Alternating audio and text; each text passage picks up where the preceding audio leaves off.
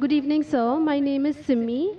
My question is why are the, are the ladies not allowed to divorce their husbands in Islam? Sister asked the question that why aren't the ladies allowed to divorce their husband? As far as divorce is concerned, sister, broadly, you can categorize divorce into five categories. One is by mutual consent of the husband and wife both. First category. Second category, unilaterally by the will of the husband. Third category, that if it is mentioned in the Nikah Nama, when a woman is marrying a man, if she mentions the contract, by default, the authority is given to the man in the Quran. Why? I'll come to it later on. But in the Nikah Nama, since marriage is a marital contract, a woman can put down any clause in marriage which is not prohibited in the Quran. She can even say that I do not want my husband to take a second wife because marrying more than one wife is not compulsory in Islam. If the boy agrees, he marries, otherwise they don't marry. She finds a new boy and he finds a new girl. But she can put the clause that I do not want you to take a second wife as long as I am alive. But you cannot put a clause which is against the Quran. You can't put a clause saying, I don't want you to offer prayer. Because offering salah is compulsory. You can put a clause which is optional. Similarly, she can put a clause that I too want to give unilateral divorce. It's called as talaq tafwid or isma. Third category. Fourth category is if she does not mention in the clause, but yet she wants divorce, she can request the husband, I don't want to stay with you. She can request the husband to give divorce. That's called as khula. And the fifth category, if the husband does not agree, and if the husband ill-treats her, she can go to the qazi, she can go to the judge, and she can take nikah faskh. That means nullification of the marriage. If the husband ill-treats her, does not give her her rights, she can go to the judge and she can nullify the marriage.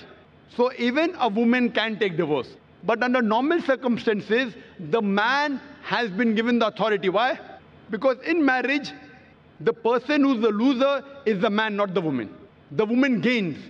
If you heard my talk last week on last Saturday, in the talk, Women's Rights in Islam, Subjugated or Protected, I mentioned that during marriage, the woman is on the receiving side. The Quran says in Surah Nisa, chapter 4, verse number 4, that give to the woman in marriage a marital gift, mahr.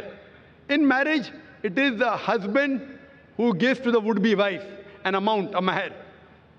And mahr can be any amount. So imagine, before she's married, it's the duty of the man, duty of the father and the brother. After she's married, it's the duty of the husband and the son to look after lodging, boarding, clothing, all financial aspects. And if divorce takes place, it's the duty of the parents to look after her. If not the parents, it's the duty of the society to look after her. If not the society, it's the duty of the Islamic State to look after her. So she's financially secured. If divorce takes place, the man gives the divorce, he loses the mahr. But the woman, she's on the receiving end. Now, she has a chance to get married. Once she gets married, she gets new mahr. And the man, when he has to marry another woman, he has to give new mahr. If the full authority is given to the woman, the woman keeps on marrying and divorcing, then she will keep on gaining money. Who's the loser? Is the man. Almighty God even protects the man's status. Otherwise, I have to give a talk on man's rights in Islam. Because if a divorce takes place, man is more of a loser than a woman financially and otherwise. Woman gets protection from the family, from the society, from the state. Man doesn't. So because of that, Allah Almighty God has secured the man. But yet if the woman wants, she can mention the marital contract, she too can give divorce. Or she can request divorce from the husband called as khula. Or if the husband ill-treats, she can go to a judge and she can nullify the marriage, which is called as nikah faskh. Hope that answers the question. Yes, thank you.